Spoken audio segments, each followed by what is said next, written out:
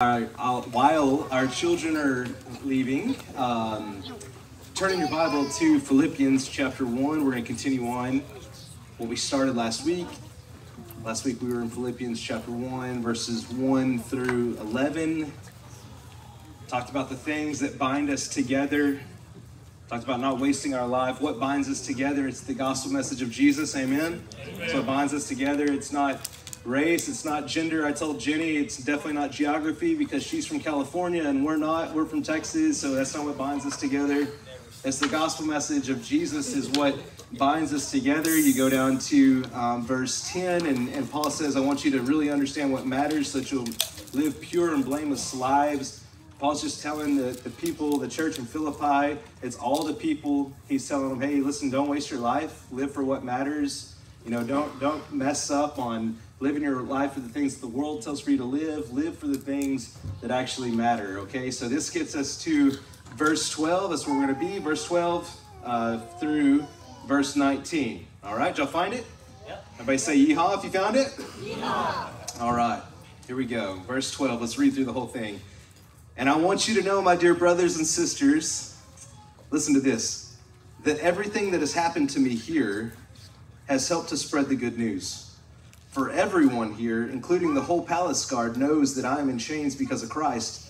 And because of my imprisonment, most of the believers here have gained confidence and boldly speak God's message without fear. It's true that some are preaching out of jealousy and rivalry, but others preach about Christ with pure motives. They preach because they love me, for they know that I have been appointed to defend the good news. Those others do not have pure motives as they preach about Christ. They preach with selfish ambition, not sincerely, intending to make my change more painful for me.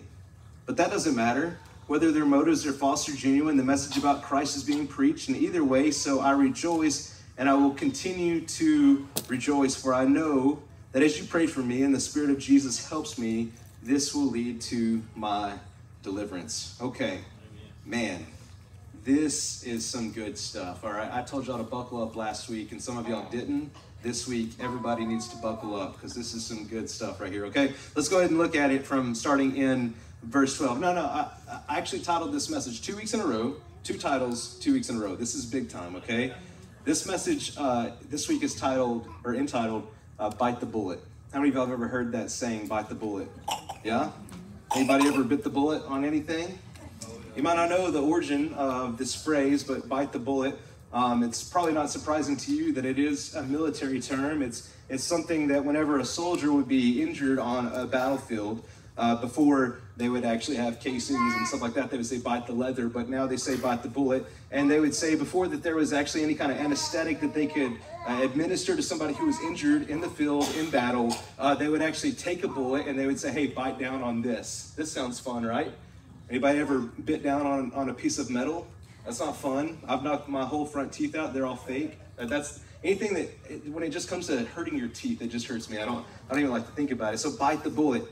And basically, it was for two different reasons. One reason was because they would say bite the bullet because it's going to take your mind off, even for just a little bit, about the pain that's taking place and kind of take your mind to a different area, a different place. And the other one was this they didn't want to cause any more further harm. They didn't want to hurt you any further by, say, you know, biting your tongue off. That doesn't sound like a good thing to do either. So they say bite the bullet. But what it turned into was it was kind of almost a badge of honor whenever you would walk around and people would either know that guy bit the bullet or you could tell other people, hey, I bit the bullet.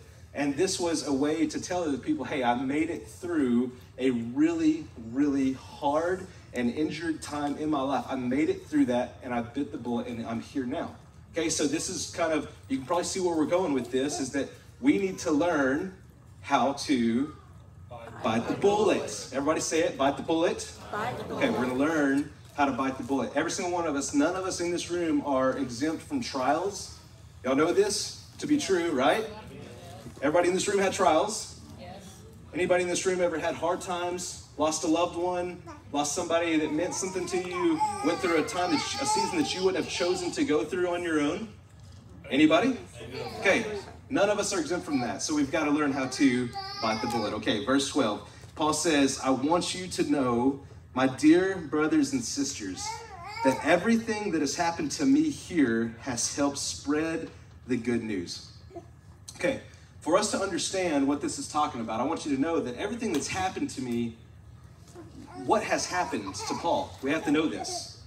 Paul, right here, as he's writing this letter, Paul is in a Roman prison, most likely a Roman prison. There's other thoughts. Most theologians believe that Paul was in a Roman prison, his first Roman imprisonment. And I'm just going to go ahead and go out on the limb and tell you this that Roman prisons in first century were probably much different than they are today, right? Anybody think that prison is different back with the Romans than it is right now? I don't know if y'all know this or not.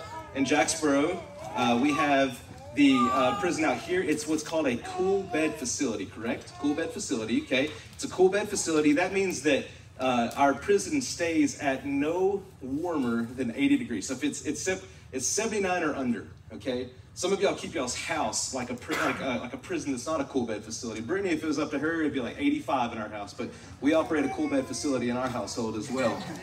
But it's like, okay, so prison's probably much different. Um, probably not going to get all your meals every single day. Probably no cable. Um, Toby, we, we go out there, they, they play basketball. Like, I mean, I, it's been a while since I've played basketball, okay? So they probably weren't, weren't getting to do those things. Like, prison is probably completely different in first century Roman prison than it is with what we understand right now.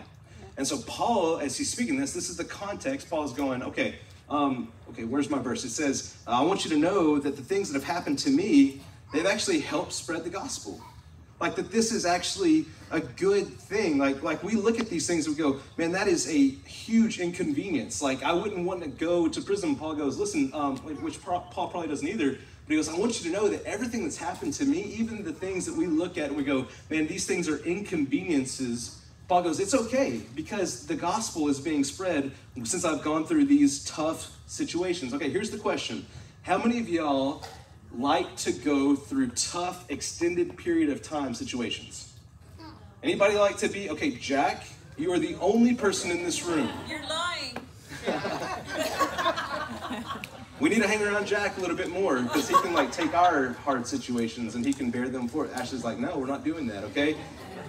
Nobody in this room goes, I want to be in a hard situation for an extended period of time. Nobody says that. I don't think I don't think anybody's arguing with me on that. I know for a fact our family like we're like the less the better. Like right, that's good. So here's the question: How many of you would be okay with going through a hard situation for extended period of time if people came to know Jesus Christ? Talking to my brothers and sisters in the room right here. Okay, you don't know Jesus Christ isn't your Lord and Savior. That's okay. You're more than welcome in here right now. But I'm talking to the people who would say, Jesus Christ, save me. Okay? How many of y'all are okay with going through a hard time for a long time if other people can come to know Jesus? Because here's what I think pretty much happens. Okay? If you will, let me just kind of break down a normal Sunday for a lot of us. We pull into the parking lot. We drive, and if you're here late, uh, Megan's not here today, she's working, but if it was Megan, she's always late. My sister, she's late everywhere she goes. And she's always like, I didn't have anywhere to park. I parked in the street. And I'm like, get here earlier. That's how you don't have to park in the street. Just get here sooner, okay? So we get here, and we want a really good parking spot. We walk into the church. We walk up to the doors. You're greeted by Curtis Bryant, who has a smile on his face. He's wearing his Hawaiian shirt, right? He, he says hello to you. He says good morning. You want to be greeted, but you don't want to be greeted too much, right? You don't want overly friendly. You don't, you don't want Brad Bennett friendly. You just want you just want someone to smile at you.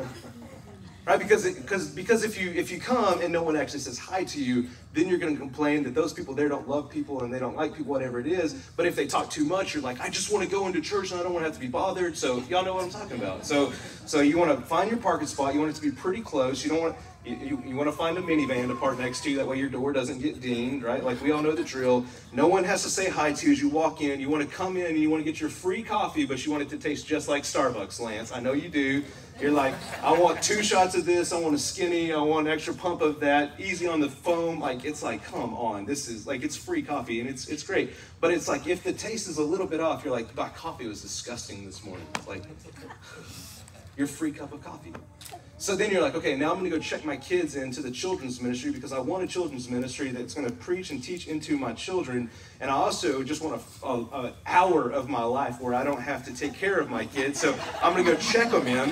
That's what I really want. Amen. I'm gonna go check my kid in. But then there's a line, and it's like they're putting labels. There's only 50 kids back there. We know whose kids are whose, but it's like if we lost your kid, you'd be like, where was the label, right? So it's like, what are we supposed to do? You want the worship service to be no less than three songs of the songs that you want to hear. It better be songs that you know, no more than four songs for sure, meaning that we better average out to 23 minutes for the next six months, right, on our, on our worship set. It's got to be 23 minutes, no more, no less. The preacher better understand that the Cowboys have a kickoff time at 12.05. Better be aware of that. You better not preach for more than 33 minutes. Okay, that's all he gets. The AC better be on the exact perfect temperature. Right now it's at 70. And 70, I feel like that's pretty good. But if it's not at the right temperature, let it be known that no less than three to five people will let me know at the end of the service that it was a little warm in here or it's a little cold in here. This is what we want. Church, we don't want to be inconvenienced. Look at what Paul says. He goes, I want you to know, my dear brothers and sisters, that, that my coffee was cold this morning, but it's helped spread the gospel. It's okay. That's not what Paul's saying. He goes, Listen, I want you to know that even though I was thrown in prison for the sake of the gospel, this is a good thing. People are hearing about Jesus, lives are changing. The gospel of Jesus is setting people free. It, this is, guys, this is okay to be inconvenienced for the sake of the gospel. And this is what this is what Paul is saying. And, and Paul goes, okay, this is a conversation that he has with God. God tells Paul, he goes, hey, you're gonna end up going into prison. And Paul's like, ah man, that just doesn't sound fun. God, how long am I gonna be there? And God's having this conversation with him, and he's like, yeah, about two years. And Paul's like, gosh almighty, okay, two years. Okay, what's it gonna look like? And he's like, well, you're gonna be chained to a prison guard for the next two years. And he's like, okay, how many prison guards is that? And he goes, well, it's probably going to be a, around two to four prison guards over the next, you know, roughly 700 days. So if you figured the math, it's like you're going to be around, you know, 1,500 to 3,000 prison guards over the next two years. They're going to be chained to you. Paul goes, okay, can they do anything to me? And they go, no, not really. They can beat you. They can, they can kind of, they can, but they can't actually kill you. They can just tell you to, to be quiet. And Paul's like, okay, so that means that I'm going to be around 3,000 prison guards over the next two years. They're chained to me I can tell them why I'm in prison. God's like, yeah. Paul's like, okay, cool. Sign me up. None of us in here are taking that gig. Nobody is. I mean, I'm not. I mean, like, it's like I'm very privileged to come in here. This is my job. I come into work, and I, again, I, I make my coffee. I sit down in my air-conditioned office. But God's like, oh, I need you to go into prison for the next two years. I'm like, I'm gonna talk to Brittany and be like, I heard this, but I don't think this is the Lord. And she's like, this is definitely not the Lord. You don't need to do that, right? This is crazy. We don't understand what Paul what Paul is saying. That's why I say we have to understand the context of what's going on with, with Paul, okay? People, here's what we have to understand is that people are watching you. And the people are wanting to know, hey, how is Paul gonna respond to this? The church in Philippi that he's writing, he's actually going, hey, I know y'all been wondering like if this thing is real. I know y'all been wondering like is, is, he is he is he a phony? Like does he really believe this stuff? And Paul goes, hey, I know you've been wondering. I know y'all y'all have given gifts to me and to my ministry, and and y'all are wondering right now, am I going to keep doing this? And Paul goes, yes.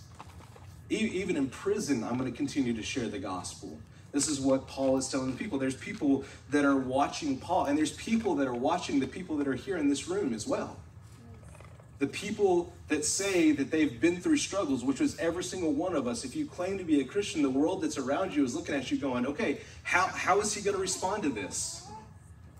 How's he going to respond to that diagnosis? How's he going to respond to the fact that his financial crisis is going on? How's he going to respond to the fact that his marriage is struggling right now? How is he going to respond?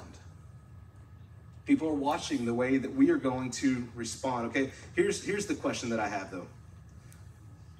When was the last time that you went through something and you just thought to yourself, man, I'm so glad that I'm going through this?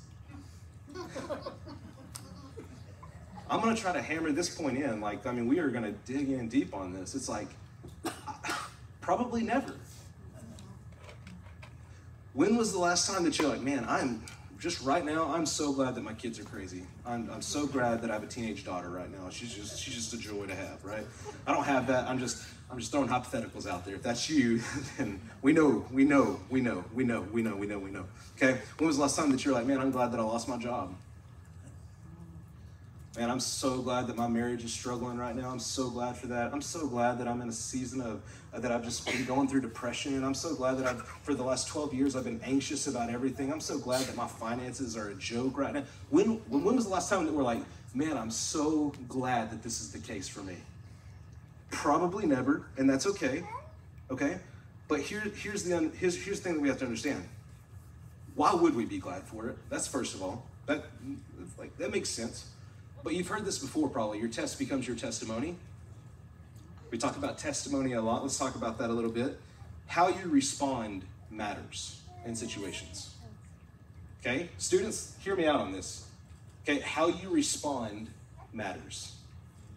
That will save you so much trouble in life, just understanding this one thing. Respond the way that you should respond. Don't respond the way that you want to respond. Okay, Brittany and I, uh, Brittany, why don't you come up here and I need to use you for an illustration. I'm just playing, just, just, it's fine, just sit down. I don't want to be in trouble later this afternoon. so, uh, Brittany and I had been married, I, will never forget this. We've been married for about five years at this time, and we were having a conversation. We didn't have kids at that time. Cora, you weren't even born. Cora, you want to raise your hand? Wave to everybody. This is my oldest daughter. Uh, she's very sweet. She just turned eight years old this week, okay? Yeah.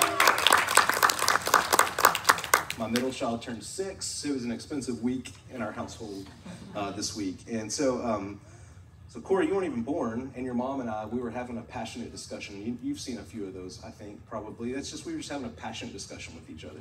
Uh, but this is before Cora was born.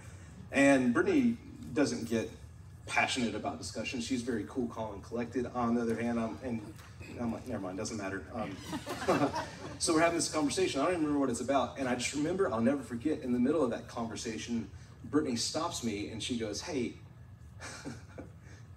why don't we just take a break for a second? And I'm like, no, I like to finish this conversation. I like to finish the conversations now. I like to get my points across. I like to know where we're at. And Brittany goes, okay, well then if we're gonna continue, she said, why don't we just make sure that we respond nicely because she said, I don't want us to remember in five years how we responded tonight.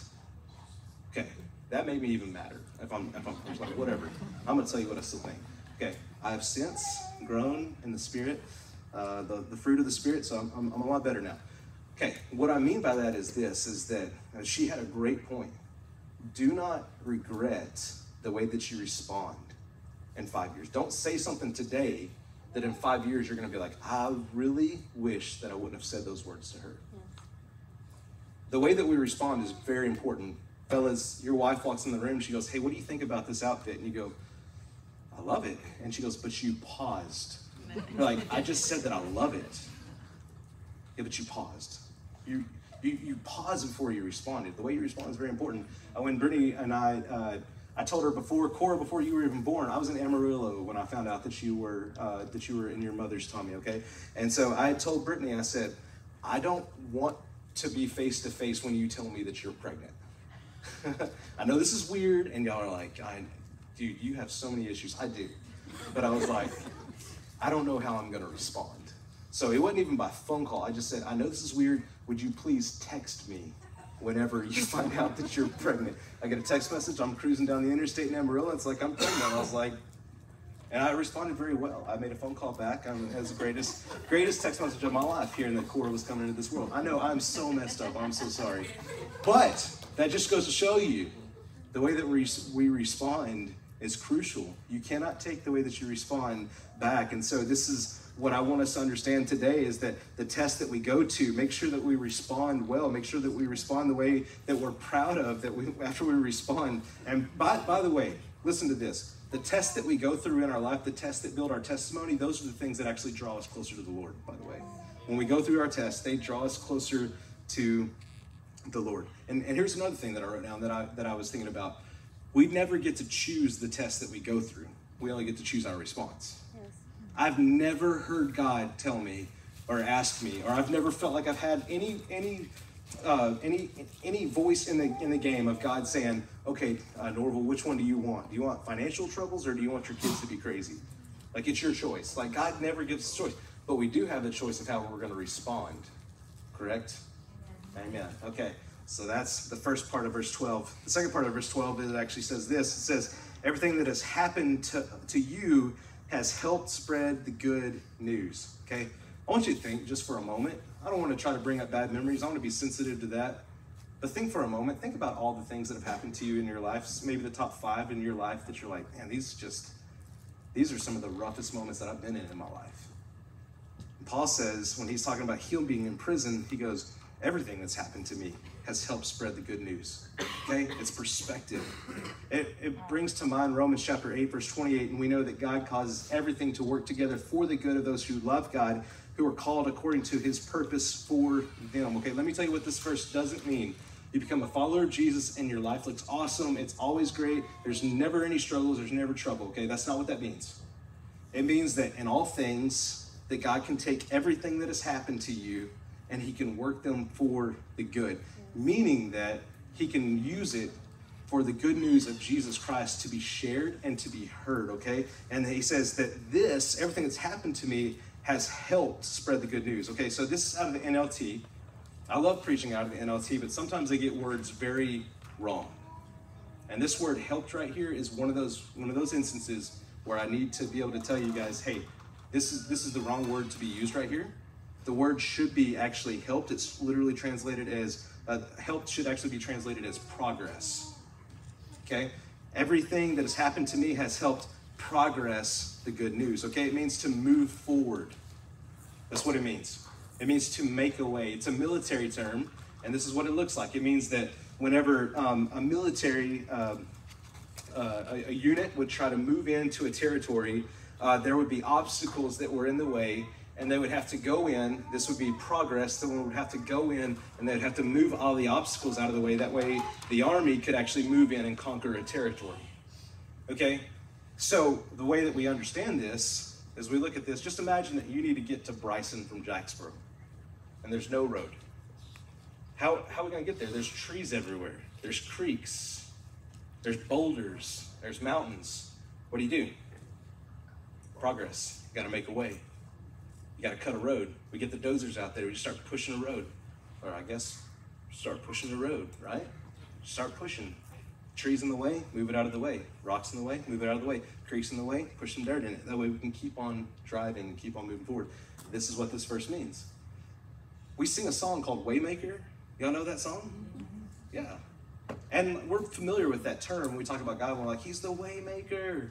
Uh, Stephen could probably sing it better than I can. But just for fun, we'll probably have Justin, the youth pastor, come up here and sing it just to embarrass him. But we call God the waymaker, and it's like, do we really understand what that actually means, though? If God's going to be the waymaker, there has to be an obstacle in the way for him to make a way. And we look at our life, and every single thank you, Karen. That's what I'm talking about. every single one of us, we this is what we want. We want a life without inconvenience. We want a life that has a road going to wherever we want to go with zero obstacles in it. Guess what? God's not the waymaker when that happens. It's just you drove your own path and you got there on your own. Sometimes I think that God is totally cool with allowing Satan to put obstacles in our way. That way we have to call on God to come in and move the obstacles out of our way so that he can provide a way. Mm-hmm. Okay, and this is what this verse means. It says that everything that's happened has helped. It means that everything that has progressed the spreading of the good news. Okay, I was just thinking, I was holding uh, Nova Lee this morning. She started crying, but that's okay. I was holding little baby Nova Lee, and I was, I was thinking about this, and I was like, this is the example of a waymaker right here. This baby that shouldn't be here, and she's here.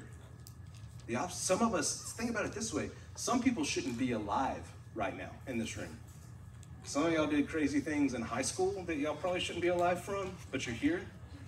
Some of you are like, Tom. Some of you, you're like, I shouldn't be in church. That's for sure. Like, this is not the place where I belong, but somehow I'm here. How? God made a way. It's progress. You shouldn't be here, and God made a way. Okay, so that's what that means. Verse 13. Uh, these next verses are going to go a whole lot faster. For everyone here, everybody, y'all say everyone. Everyone. Including the whole, say whole. Whole palace guard knows that I am in chains because of Christ. Everyone here, they know why I'm here, okay? This verse doesn't say, I want to make this a point. This verse doesn't say that, that everyone here has became a follower of Jesus because I'm here in chains. That's not what it says. It says, everyone here knows why I'm in chains. It's not up to us to save people. It's up to us to be faithful and to share our testimony, to share the test that we've gone through, to share the times that we've bit the bullet. It's up to us to share those things, but we can't save anybody. I can't save anybody. You can't save anybody, but we can share with people about Jesus who can save them. Okay? So this is what it's saying is that people know why I'm here. People know why I'm in chains. And, and I, I wanted to think about this, okay? Husbands, do your wives know why you follow Jesus? Do they know that you do? Does your wife know that you pray for them? Wives, do your husbands know that you follow Jesus? Parents, do your kids know why they're here on a Sunday morning? Or is it just this is just what we do? We just go to church. Why are we here? We have to be very, um, man, we have to make sure that we share with our families and the people that are around us that we are here at church because we're trying to learn more about Jesus. We're trying to grow closer to Him, the people that we work with on, our, on a daily basis.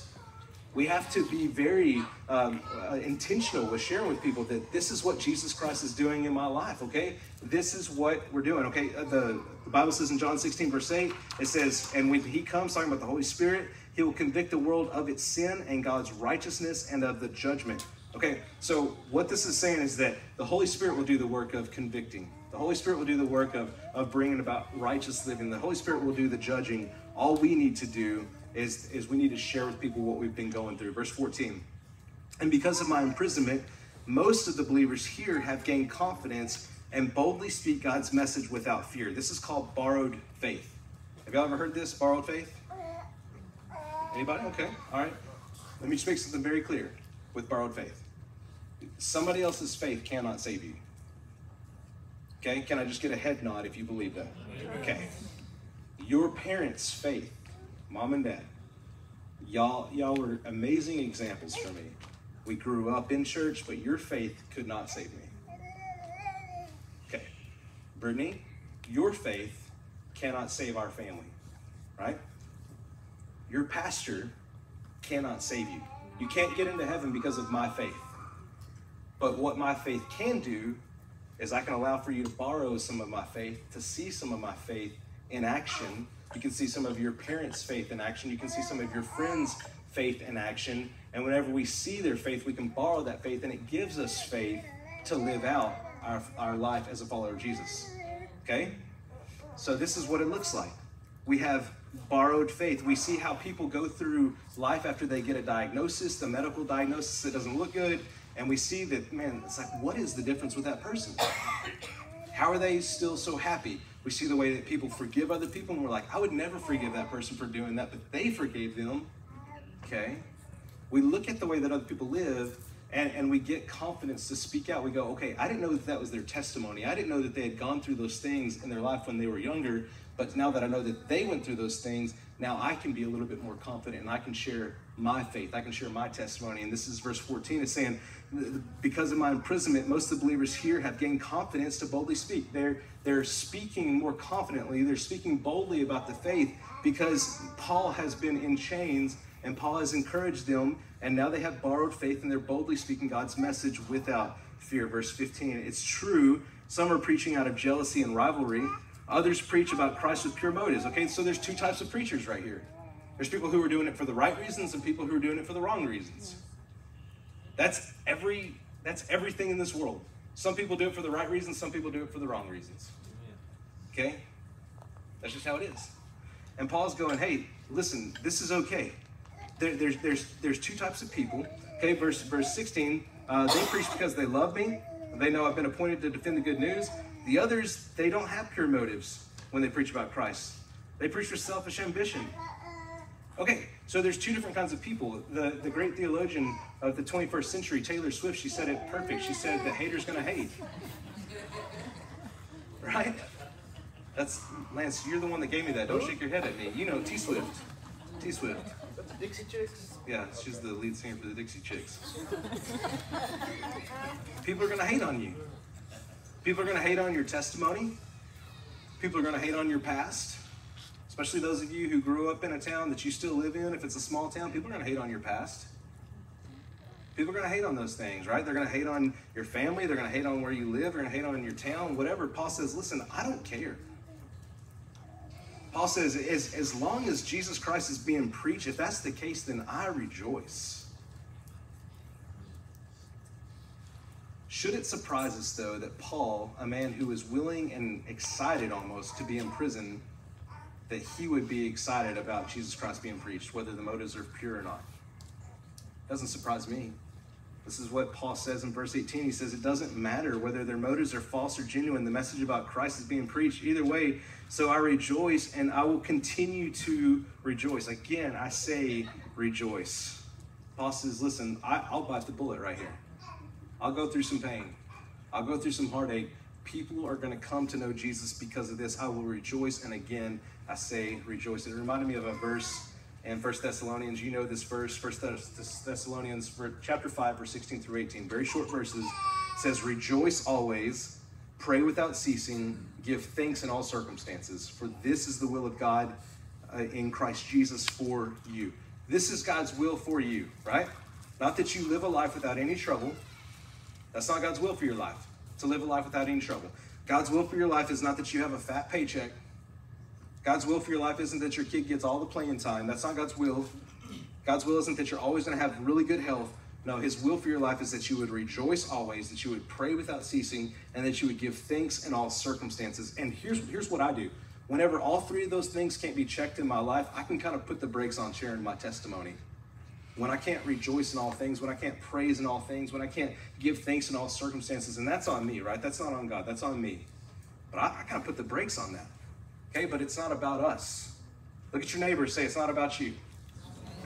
Some of y'all were a little bit excited to tell your neighbor that. like, I'm just glad that I'm up here and Brittany's down there because she would have told me instead of Walter if that was the case. It's not about you, right? I mean, we love each other, but it, it's, it's not about us.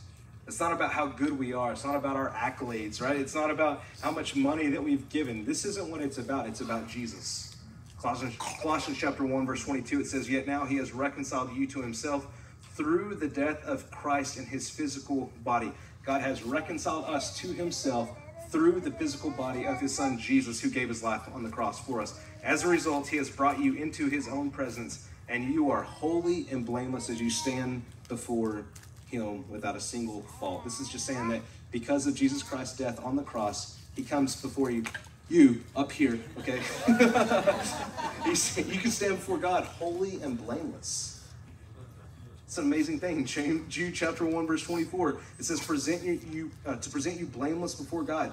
Jesus died on the cross so that we could be presented before God holy and blameless. That means to be without accusation.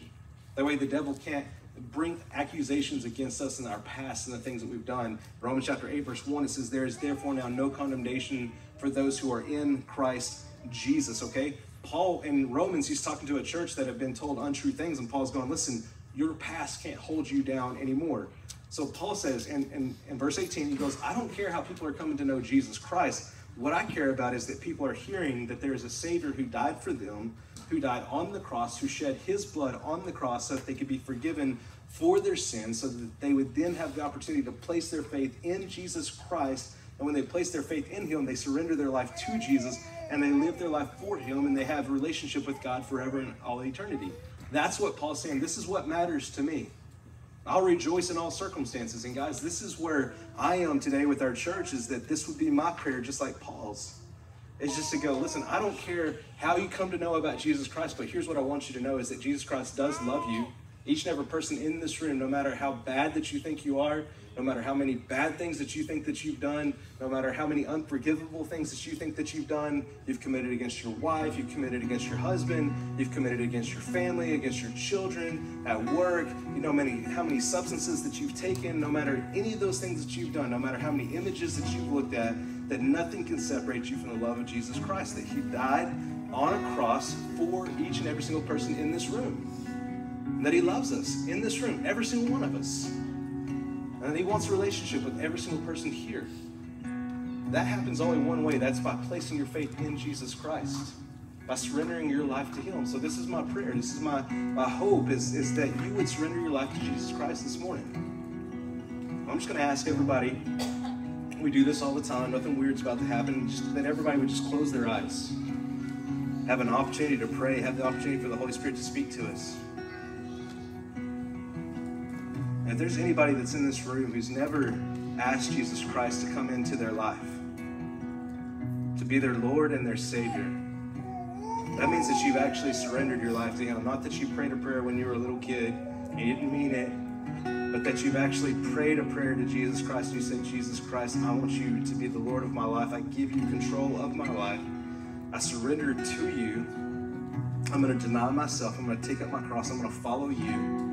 I believe, Jesus, that you died on the cross for my sins. And I believe that you were fully dead. You went into the grave and you came back to life. You've now ascended to the right hand of the Father. This is, if you've never had that experience where you just believe that in faith that Jesus Christ died and came back to life, and you've never surrendered your life and made Jesus Christ the Lord of your life, man, today I would pray is the day that you would do that. I just, I just think that it's so easy for Satan to confuse so many of us into thinking that we've done some really stupid things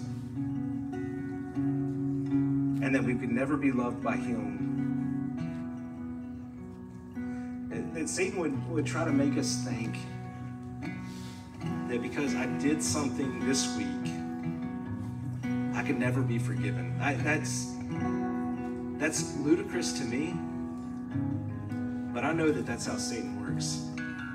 Because I, I guess I felt that way too. The Bible says in Romans 8 1, there's therefore now no condemnation for those who are in Christ Jesus. And it's also crazy to me to think that people think that they can be good enough to get into heaven because of the things that they've done. They can look at their life, people think that the good in their life can outweigh the bad, and that will get them into heaven. And that is true. That is a lie from Satan. Because it's not about what you've done, it's about what Jesus Christ has done. So maybe that brings a little clarity to a few things that you're dealing with. Maybe you think I'm good, I'm going to heaven because I'm a good person. Uh, unless you have a relationship with Jesus Christ, that's not true according to the Bible. Jesus says, I am the way, the truth, and the life. No one comes to the Father but through me. And then also, again, Romans 8 1, there's no condemnation for those who are in Christ Jesus. Don't let Satan trick you into thinking you're a bad person, you're a messed up person, because we all are. Don't let Satan trick you into thinking you've you've messed up with this over and over and over again and you can't be forgiven. Because you can be. Man, church, I pray that this is my prayer. Man, surrender your life to Jesus this morning. If you've never done that, heads are still bowed, eyes are still closed. You got people up here at the front who want to pray with you. I will drop this mic in a heartbeat if somebody comes up here and wants to pray to accept Jesus Christ as their Lord and Savior. We got people off to the side, and we got men and women up here who are willing to pray with you. Maybe you're struggling with something, you're going through something, you're struggling with addiction, or maybe your kids are actually that crazy kid that I'm talking about in those hypothetical stories, or maybe you are going through financial struggles right now, or maybe your marriage is a wreck right now. I don't know what it is, but man, if you need somebody to pray with you, this is what church is for. Church is not about checking a box. You go and come on up right now. Church is not about checking a box to say that we went on Sunday and then we're just going to try to make it until next week, man. Let the gospel message of Jesus change you this morning. So, with that being said, Holy Spirit, I pray that you'll speak to us today, change our life. Holy Spirit, move. We just give you freedom this is your space anyways, but Holy Spirit, we just say we would love for you to move and change our lives. Jesus, in your name I pray. Amen. If you'll stand up, we're going to sing a song. There's people up here who are willing and ready to pray with you this morning.